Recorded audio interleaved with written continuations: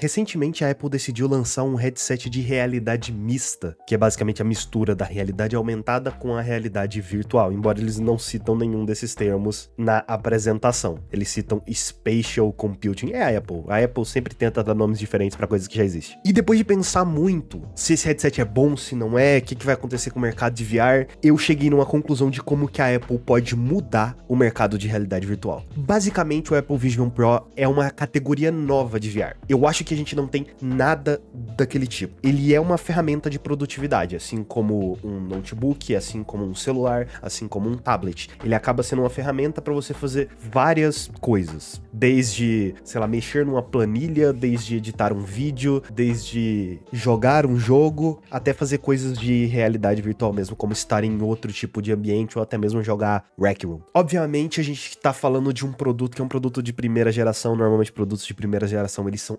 absurdamente caros e não é diferente desse. Ele custa 3.500 dólares, isso é um absurdo. E eu sei que 3.500 dólares parece um número vazio pra gente, porque 3.500 dólares vale uma coisa lá nos Estados Unidos e vale outra coisa aqui. Afinal, 18 mil reais e 3.500 dólares é diferente. Se a gente pega o salário médio brasileiro é 2.200 reais. Se a gente pega o salário médio americano é 2.000 dólares. Mas dá pra gente levar em consideração o poder de compra. Significa que com um Apple Vision Pro você pode comprar um Quest 2, um Nintendo Switch, um Steam Deck, um Xbox Series X, um PlayStation 5 com driver de disco e um PC. Tudo isso por 3.500 dólares. E eu não tô falando de um PC simples, eu tô falando de um PC de 1.500 dólares que é um PC muito bom. Então, deixando essa discussão de preço de lado, eu quero discutir mais o conceito da coisa, porque se a gente discutir em preço, a gente fica meio que travado nessa, nessa história. A Apple tá posicionando esse headset como algo para substituir o PC, o iPhone e o iPad. Só que no geral, eu consigo ver como ele vai substituir PC, computadores. Na minha cabeça, ele é um MacBook que você coloca na sua cara. E faz muito sentido, ele tem um M2, que é poderoso pra caralho. Se você conseguir fazer é, rodar, sei lá, o Death Stranding mesmo que vai sair pra Mac, se ele rodar nele, já vai fazer ele ser poderoso pra caralho. Ainda tem por cima um negócio tipo Proton que tá sendo feito pro, pro Mac para rodar jogos de Windows. Então eu vejo muito isso como é um PC que você coloca na sua cara. E isso muda tudo. Porque o Quest é um headset VR. O Quest não pretende substituir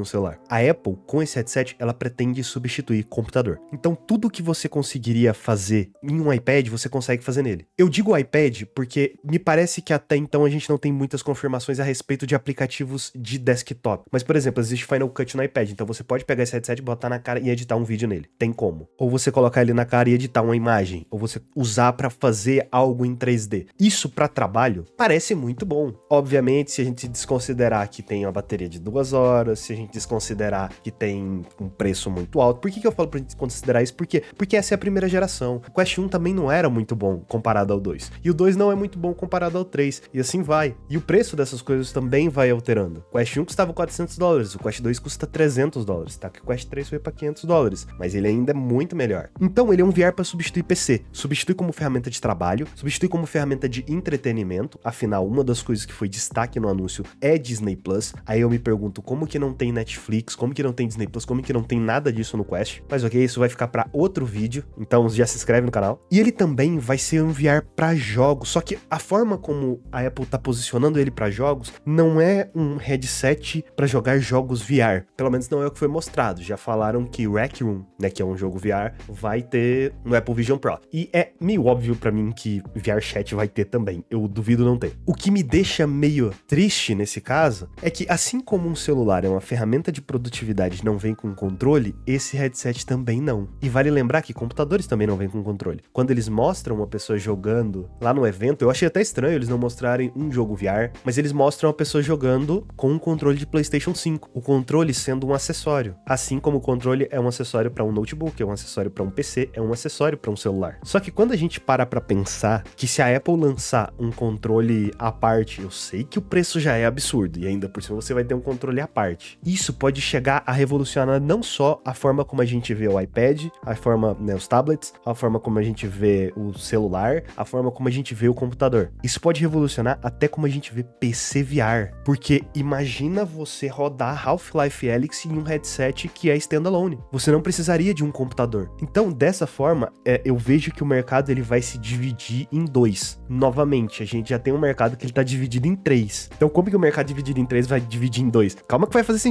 A gente tem o PlayStation VR, que é basicamente um acessório pro PlayStation 5. Então, para mim, ele conta numa categoria totalmente diferente que eu acho que não entra na, na minha divisão aqui. Então, é isso. A gente tá dividindo, somando, multiplicando e tá dando menos. Porém, a gente tem o PC VR e o Mobile VR. Só que o, o que a Apple tá tentando fazer é transformar o PC VR em transformar o PC, um PC, né, que é capaz de VR em um dispositivo mobile. Só que num preço muito alto. Enquanto a Meta tá focando o Quest só para jogo, quando não deveria. Mas eu já falei que isso vai ser tema de outro vídeo. Nesse sentido, supondo que a Apple lance um controle à parte, tem Steam lá, tem um negócio que é o Proton do Mac. Agora para fazer jogos rodarem melhor dentro do, da plataforma M2, né? M1, M2, dentro da plataforma da Apple. Então, dá para imaginar um futuro onde a gente vai poder ter todo o poder que tem nesses headsets, que são standalone, todo o poder de PCVR. E é por isso que eu acho esse headset da Apple sensacional, porque eu acho que ele tá levando a mídia como um todo para um lugar onde ela não tava indo. Eu não sei vocês, mas eu tô muito curioso para ver como que vai ser o futuro do VR, porque eu acho que a gente tá prestes a ver uma revolução muito grande. Mas se você gostou desse vídeo, deixe seu like e no próximo vídeo eu vou falar por que, que o Quest deveria virar um celular. É estranho, né? Talvez o vídeo já esteja pronto, esteja aí na tela para você clicar. Então é isso, pessoas. Deixe aí seus comentários, o que, que você acha da minha epifania, eu pretendo fazer mais esses vídeos comentando aleatoriamente sobre algum tipo de assunto. Inclusive, deixa aí na, nos comentários dica de algum assunto, alguma coisa, né? Vai que eu faça um vídeo sobre também. Então é isso, pessoas. Tchau!